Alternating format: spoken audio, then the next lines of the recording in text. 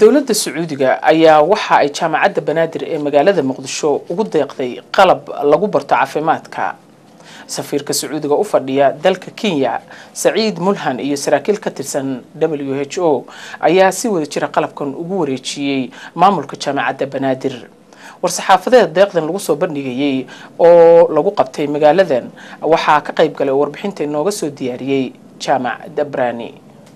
deeqdan dowladda sacuudiga oo kaashanaysa hay'adda caafimaadka adduunka ee w h o ay ku wareejisay maamulka jaamacadda banaadir ee magaalada muqdisho. Ayaa ka kooban qalab loogu talagalay in wax lagu baro ardayda caafimaadka ka barata jaamacadda banaadir ee muqdisho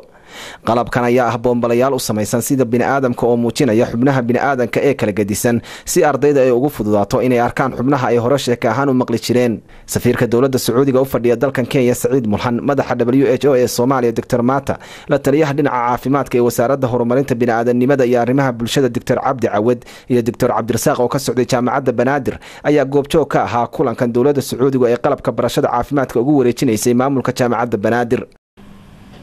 support to uh, to to uh, lecturing and for practical sessions the tools that they need to uh, to study in detail body parts and organs. Doctor mata waa madaxa w h o ee soomaaliya waxaana ay sheegtay in taageeradan qalab uu yahay mid lagu baranayo caafimaadka iyadoo qalabkani yahay mid muujinaya xubnaha bini'aadanka doctor cabdi caawid waa la taliyaha wasaaradda horumarinta bini'aadanimada iyo arrimaha bulshada waxaana uu dowladda sacuudiga uga mahad celiyey deeqdan qalabka dhakhaatiirnimada lagu baranayo ee sacuudiga ugu deeqay jaamacadda banaadir ee muqdisho. Halka maanta aan u joognaa inaan guddoonno deeq ay dowladda sacuudi arabiya siinayso jaamacadda banaadir ee muqdisho oo qeybtiisa caafimaadka. Waxaan aada ugu faraxsanahay inaan ka qeyb galno deeqdaas aan ka guddoonno anigoo ku hadlaya magaca wasaaradda daryeelka horumarinta bini aadmiga iyo daryeelka bulshada qeybta caafimaadka iyo jaamacadda banaadirba. Waxa weeye dowladda sacuudigu ma aha markii u horreysay deeq bixiso. Waxa weeye waa waa dowladda sacuudigu had iyo joor waxay u taagan tahay taageeradeeda waxay la garab taagan tahay ummadda soomaaliyeed dhinaciisa doctor cabdirasaaq xasan cali oo isna ka socday jaamacadda banaadir ee muqdisho oo goobjoog ka ahaa kulankan ayaa u mahad celiyey dowladda sacuudiga taageerada ay siisay jaamacadda banaadir isagoo tilmaamay in qalabkani si fiican u anfici doono ardayda caafimaadka ka barata jaamacaddaasi. Runtiina hadda qalabkan wuxuu aada wax ugu tari doonaa waxbarashada. Waxaan kaloo idinkugu darayaa in hadda aan bilownay takasus oo qalliin ah iyo emergencyska toban ardayaan ku bilownay. Waa iyadana guul soo hoyta wey laakiin waxaan ka codsanaynaa dowladda sacuudiga oo runtii xilligii adkaa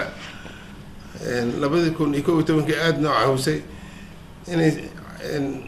dadkan waalahooda sii caawiyaan. Safiirka dowladda sacuudiga u fadhiya dalkan kenya saciid mulhan ayaa sheegay in dowladda sacuudiga ay mar walba taageeraysay dadka soomaaliyeed xitaa marxaladii kala duwanaa ay soo mareen to hand over teaching aid to, to the School of Medicine aad baan ugu faraxsanahay inaan maanta halkan joogo waanu ku wareejiyey qalabka kuliyadda barashada caafimaadka ee jaamacadda banaadir soomaaliya sidaa wada ogsoontihiin boqortooyada sacuudi carabiya waxay ku taagnay taageerada soomaaliya tan iyo madax bannaanidii. taageeradaas eed mid toos ah mid heer caalami ah mid heer gobol ah sida o i c ururka carabta iyo midka hay'adaha u n k. Sacuudiga oo ka duulaya arrimaha bini'aadanimada ayaa toban milyan ku siiyey w h o arrimaha soomaaliya has directly donated 10 million to the World Health Organization for Somalia. markii kulankan soo dhammaaday ayaa maamulka jaamacadda banaadir si toosa ugala wareegay qalabkan lagu barto caafimaadka safiirka sacuudiga dalkan kenya u fadhiya